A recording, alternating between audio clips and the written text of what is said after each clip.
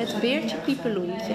Kijk, het beertje Piepeloentje heeft geen sok en heeft geen schoentje. Studenten van de opleiding onderwijsassistent aan het ROC in Den Helder krijgen een workshop voorlezen.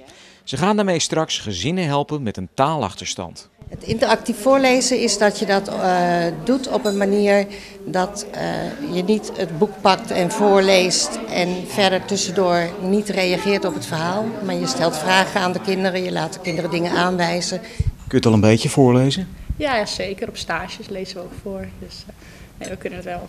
Jawel. Ja. In 2016 werd duidelijk dat er een probleem was in de stad.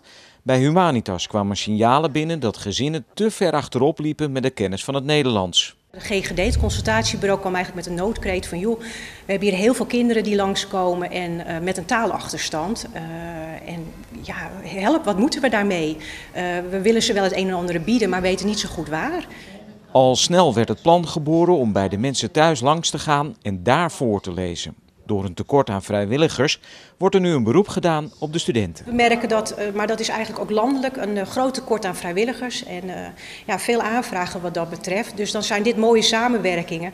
Ja, en het mes snijdt aan twee kanten. De studenten die pikken er ook weer wat van mee. Het is ook het voorlezen voor het, voor, als onderwijsassistent.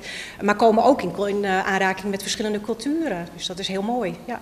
Sommige gezinnen die hebben natuurlijk een, ja, een buitenlandse ouder bijvoorbeeld.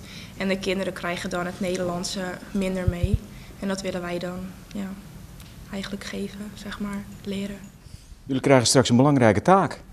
Ja, absoluut. Uh, gewoon kinderen voorlezen, dat lijkt me echt heel leuk. Gewoon om die kinderen wat mee te geven. Dat lijkt me het leukst. Een ponnetje voor in bed, maar Pippeloentje heeft een pet.